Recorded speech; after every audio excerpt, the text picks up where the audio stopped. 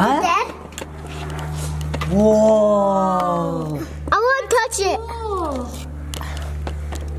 Wow, Nico, you're really brave. Good job.